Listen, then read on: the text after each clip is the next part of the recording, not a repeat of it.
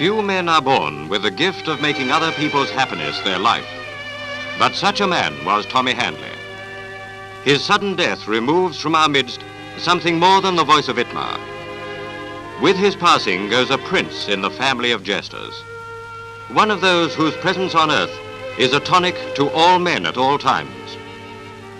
To the nation, particularly in the anxious days of war, he stood for the brighter times around the corner.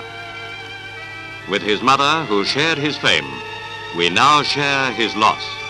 For he was Mrs. Handley's boy to us all, to old and young alike. Hello, boys. How are you? All right? Are you all right? Oh, that's fine. Now, I'm going to tell you what a cricket match is. You don't know what a cricket match is, do you, eh? Oh, you don't know my version, no, do you?